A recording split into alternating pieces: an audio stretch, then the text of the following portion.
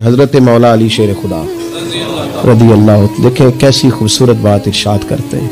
हज़रत अली मुर्तदा रदी अल्लाह तला फरमाते हैं, जब तक तूने अपना राज बयान नहीं किया, उतनी देर तक तेरा राज तेरा गुलाम है। और जब तूने अपना राज अपनी ज़ुबान से बयान कर दिया, अब राज तुझे अपना गुलाम बना लेगा। तो राज का गुलाम है। तो उसकी गुलामी में ज़िंदगी गुजारेगा तो डरेगा कि ये इसका ज़िक्र ना हो जाए, ये पता ना चल जाए। हमारे पास तो बहुत बड़ी बारगाहें हैं, खुदा की बारगाह, मोहम्मद मुस्तफ़ा की बारगाह, सल्लल्लाहु अलैहि वसल्लम। थोड़ी देर रात तनहा बैठे मुसल्ले पे, अपनी बातें अल्लाह रसूल से करें, या अल्लाह वालों से करें। दुआएँ लंबी लंबी मांगे, दुरूद पाक तन्हाई में पढ़े। वहाँ राज कहे, जहाँ पर्दा पोशी भी होगी और जब आप अल्लाह रसूल की बारगाह में दुख सुनाएँगे तो करम भी बरसेगा।